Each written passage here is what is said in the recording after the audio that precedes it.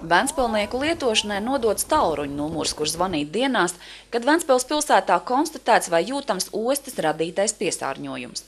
Kā skaidro Ventspils pilsētas domas priekšsēdētājs, pašvaldība nav tiesiska iejaukties komerc struktūra biznesa tehnoloģijās. Tomēr ostas smakas, trokšņus un putekļus Ventspilnieki jūt bieži. Ventspils pilsētas domē izveidotais tālrunis sākot ar augustu fiksē visas iedzīvotāju sūdzības. Tad tās tiek noformētas kā iesnieguma forma valsts vidas dienestam un vidas aizsardzības un reģionālās attīstības ministrijai. Tālruņa numurs, ko vērts zināt, ir 636 01 284.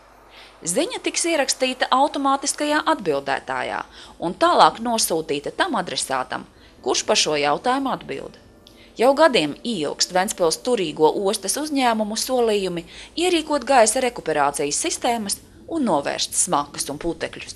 Šī problēma būtu jārisina. Vārdos viņi saka, jā, mēs esam gatavi, mēs to darīsim. Mēs neesam redzējuši nekādus rakstiskus apliecinājumus, ne valdes lēmumu, ne investīciju plānu, ne budžeta apstiprināt, kur būtu ietverts šādas investīcijas. Diemžēl tās ir tikai runas līdz šim. Mēs vidas ministriju arī uzrunājam visu laiku un arī valsts vidas dienestu, ka pašreiz spēkā esošie normatīvie akti neuzdod kā pienākumu, jā, arī obligātu prasību šādas te tvaiku savākšanas iekārtas izbūvēt. Ja? Un tieši tāpēc mēs par to runājam, un to arī solīs Spiridonovkungs, tad, kad viņš bija šeit 30 novembrī pagājušajā gadā. Tā ir amatpersonu Antono kunga vietnieks, ja, kurš, kurš ļoti konkrēti par to atbild. Ja. Un, un, un, diemžēl, pēc mūsu rīcībās esošās informācijas nekas īsti uz priekšu nav pavirzījies. Piespiest šos komersantus, es uzskatu, tā, tāpat vien ar pierunāšanu neizdosies. Viņi, viņi vienmēr teiks, nē, tāda prasība nav, mēs te nepārkāpjam neko un viss. Ja. Tāpat Vēnspalnieki tiek aicināti nepalaist garām 26. augusta, tātad pirmdienas sabiedrisko apspriešanu jauna veida Ventspils tirzniecības ostas kravām.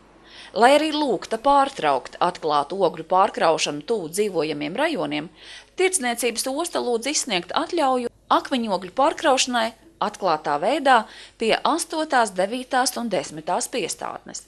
Šāda atļauja ir jāizsniedz valsts vidas dienestam, un ja tā tiks akceptēta, tad tiks izsniegta nākamajiem pieciem gadiem. Sabiedriskā apspriešana notiks 26. augustā 4. pēcpusdienā ostas biznesa centrā.